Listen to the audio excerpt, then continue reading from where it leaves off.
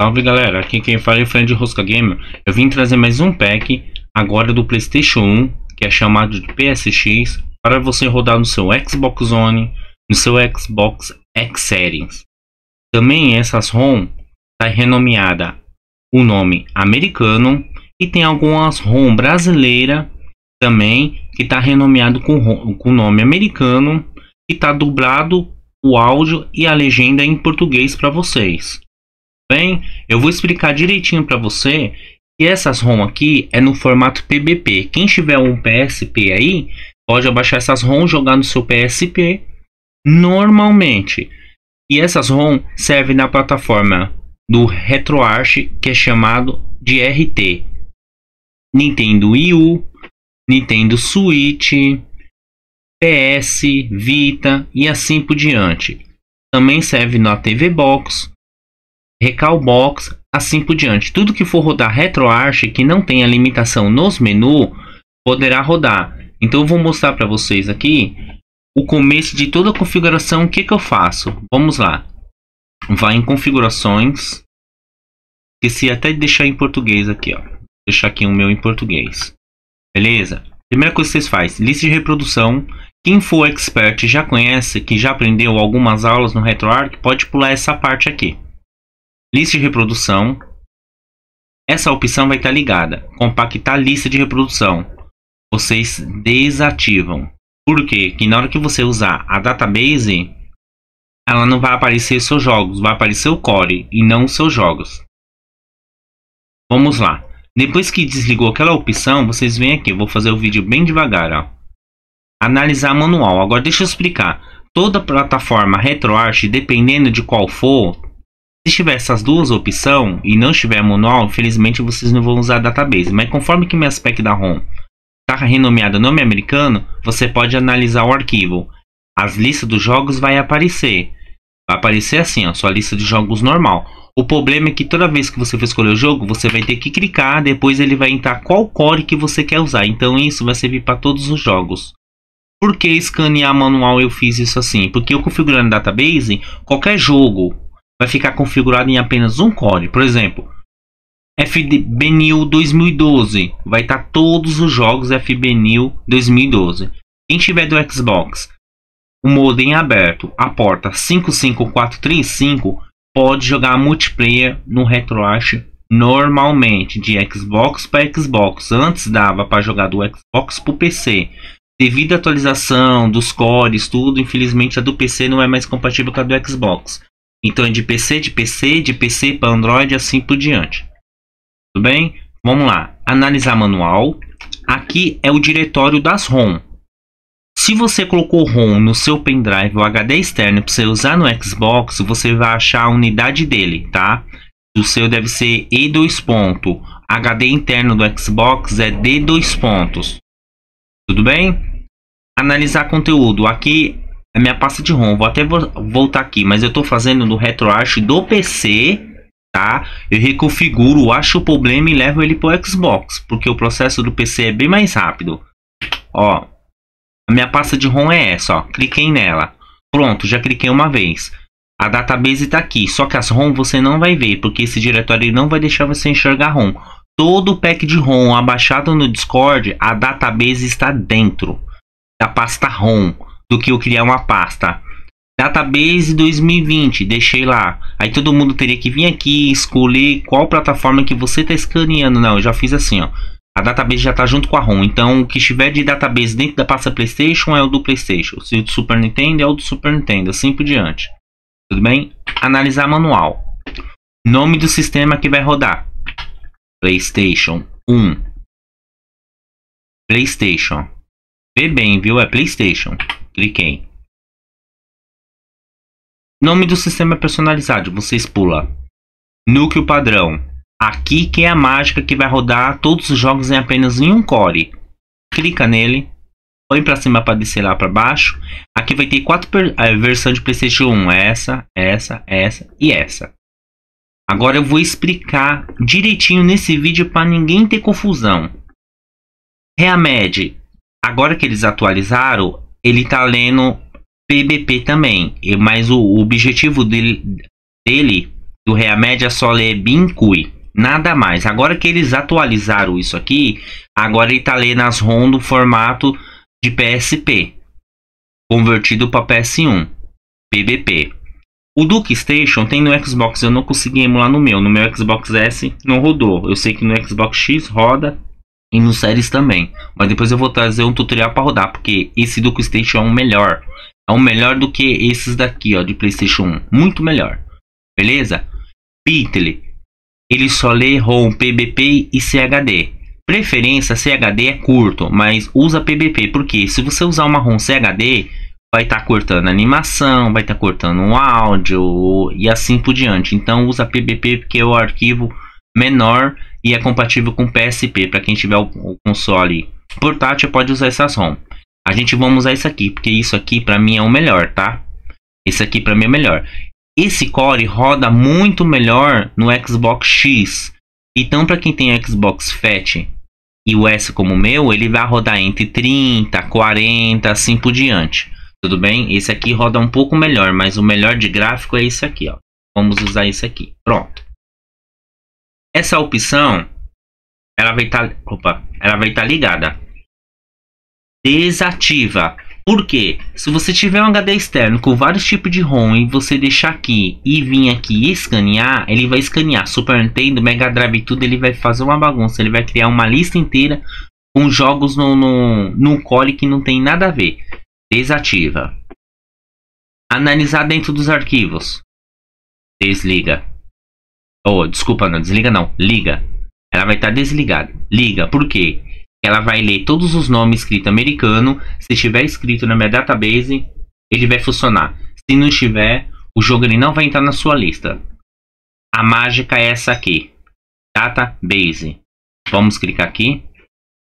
Database. PlayStation. Acabou. Só isso que vocês têm que fazer. Agora deixa eu explicar para que, que serve essa opção que muita gente me perguntou. Filtro Data Arcade, deixa eu explicar. É assim, eu escrevi a database, por, por exemplo, Final Fighter Cadillac Dinossauro. Tá escrito lá? Maravilha. Coloquei Street Fighter 2, eu não escrevi na database, o que que acontece? O nome vai ficar em branco, os outros vai aparecer a capa e esse não. Então, se você ligar essa opção quando você escanear, mesmo que você tenha 100 jogos, 80 tá com capa, 20 vai ficar 100. Então, quando você desliga, ele só vai escanear aquilo que encontrou de capa. Aquele que não encontrou de capa, o jogo não é, delicado, não é deletado, ele continua lá. O problema é que ele não vai entrar com capa. Então, você deixa desativado. E essa outra opção aqui, já estou explicando para você, ó. Meu pack vai, suponhamos que nós temos 50 jogos lá. Desses 50 jogos, tem jogo que não tem lá, que você gostaria de jogar. Por exemplo, eu não tenho Tomb Raider 1, você quer colocar Tomb Raider 1. Colocou Tomb Raider 1, a sua lista já está escaneada. Você pega Tomb Raider 1, por exemplo, joga dentro da pasta PlayStation 1, jogou lá onde está sua pasta de ROM, e sua lista já está criada, você liga ela, porque quando escanear, ele só vai escanear aquela Tomb Raider que não tem na lista. Ele vai pegar o Tomb Raider e colocar lá. Agora, se essa opção estiver desligada e você jogou 10 jogos a mais lá dentro que não tem nesse pack, você escanear aqui, ele vai duplicar. Ele vai deixar dois jogos de cada. Aí vai virar uma bagunça. Então vamos lá. Inicializar análise. Pronto. Já escaneou. Agora eu vou te dar um exemplo. Eu tenho aqui Atari eu gostaria de mudar o core. Já vou explicar nesse vídeo para ficar mais fácil. Tem aqui o Core Atari 2600. Ou vamos começar com isso aqui mesmo, vai. FB New Arcade Games. Tá, eu não quero esse core. Você pode clicar aqui. Associações, associação de núcleo. Eu posso escolher outro core. Só vai funcionar nesse jogo aqui. O próximo jogo, você quer mudar de core porque não está rodando aqui, você vai ter que fazer isso. Então, para você saber qual jogo que roda ou não, você pode mudar todos os cores de uma vez só de uma fileira de jogos todinha de uma playlist. Vamos lá, ó. configurações, lista de reprodução, põe para baixo, gerenciamento de produção, FBNew, vamos lá. O meu, todos os jogos está configurado. Arcade Funny Bunny New. Eu quero mudar para outro, ó, Mami. Pronto. Todos os jogos já vai virar Mami. Não preciso fazer mais nada. Eu quero mudar para o próximo core, ó. Mami 2003. Todos os jogos vai rodar aqui. Então assim por diante. Então você pode fazer isso daí. Game Boy, eu quero mudar de core. Eu venho aqui e vou mudando de core. Eu coloco qual core que eu quero. Beleza? Posso mudar do que eu vim simplesmente. Eu vou dar um exemplo aqui. Tá aqui o core que estava rodando FBNew. Eu quero colocar CPS1. Pronto. Ah lá. Vai rodar todos os jogos. Vai rodar só esse jogo no CPS1. Não vai rodar mais. Eu quero mudar. Eu vou lá e clico outro. Eu quero tirar o core desse jogo aqui. Pronto. Removi o core, ele não tem core. Aí eu vou lá e escolho qual core que eu quero. Eu quero esse core aqui. Pronto. O jogo vai rodar nesse core, assim por diante. Beleza? Então vamos lá no Playstation. Ó, a gente escaneou no Playstation, tá? Beleza. Eu quero atualizar todas as capas de uma vez só. Você vem aqui. Atualizar downloads. Atualizar lista de reprodução. Playstation. Pronto. Tá atualizando todas as capas que está escrito na database. Se ela não estiver escrito, a capa não aparece, mas o jogo funciona, mesmo que não tenha capa, porque o nome do jogo está incorreto, então não está escrito na database. Vamos lá. Tá aqui os jogos. Agora eu vou ficar em silêncio alguns minutinhos e vou mostrar para você os jogos que eu estou deixando disponível. É 14 GB, é pesado. Eu sei que esses jogos que eu tenho não é os que você quer, mas é bom ter um pouquinho a mais. Beleza? Então vamos lá.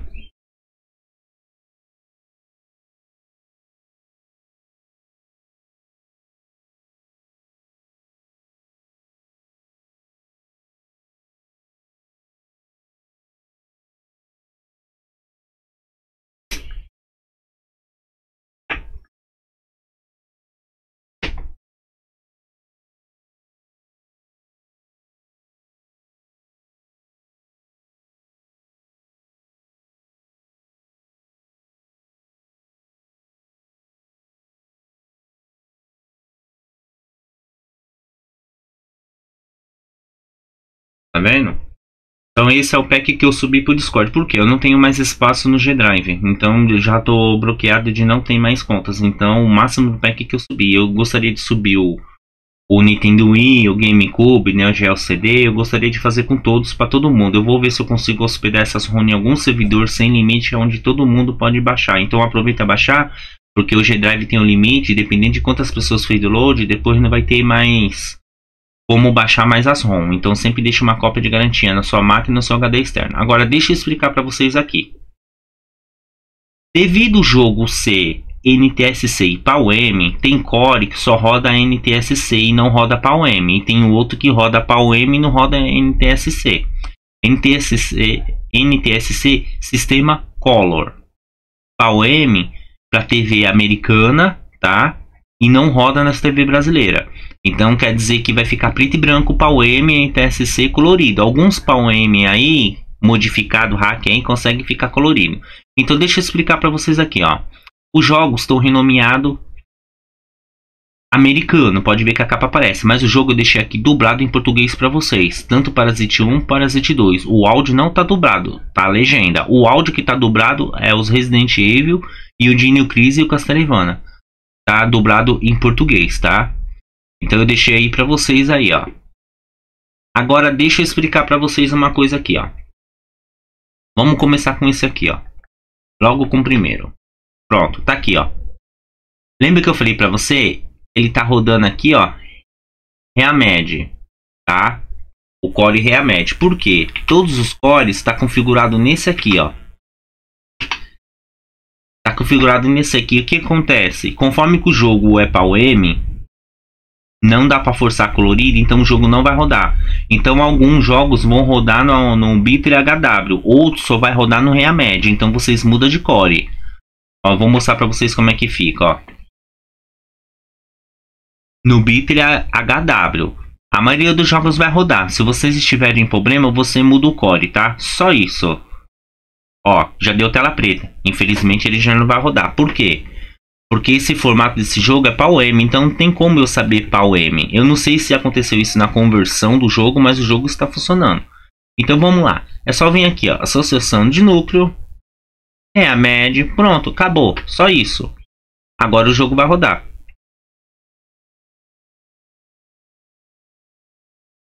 Não é todos, tá? Eu abrir aqui de novo. Não é todos que vão rodar no, no Reamédio, vão rodar no HW, vice-versa. Mas ele vai rodar sim.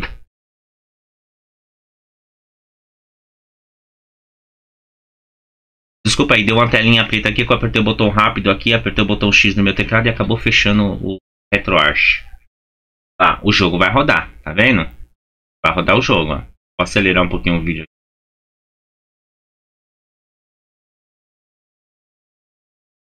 Tá rodando o jogo.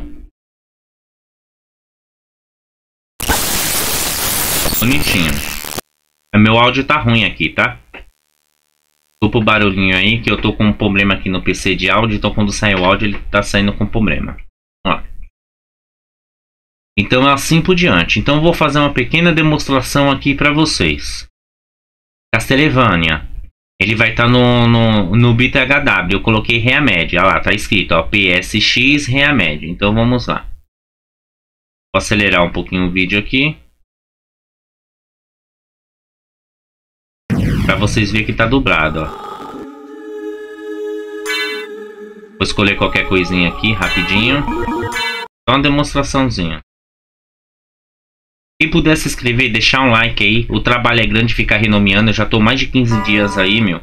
Fazendo isso aí todo dia, gastando o meu tempo, tirando o meu tempo. para deixar tudo preparado para vocês, para ficar tudo organizado e bonitinho no seu Xbox, tá?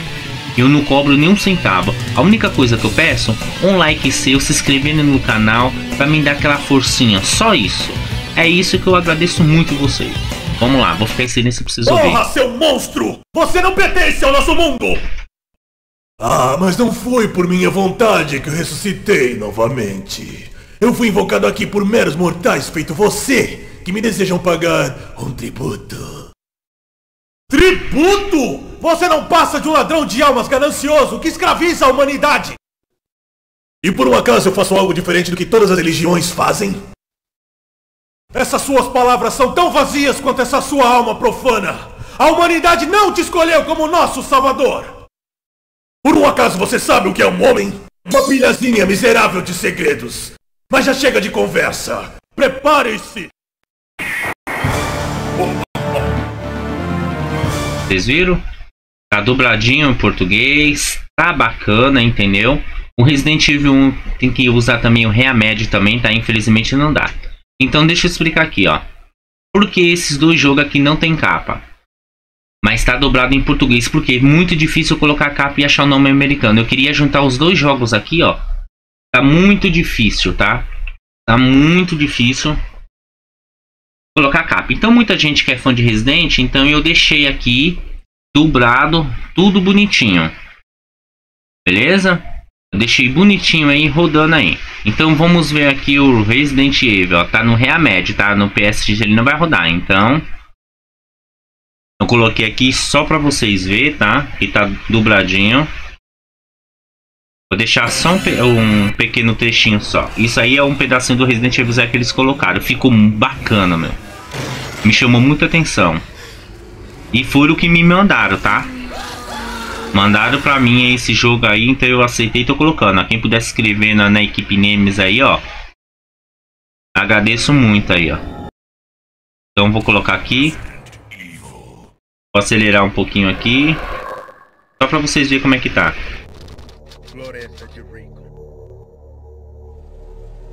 O time Alpha está sobrevoando a floresta de Rico situada a noroeste de Raycon City. A dublagem tá da hora. Quem quiser jogar Resident Evil no seu, Resident Evil no seu Xbox aí, ó, vai ser bacana.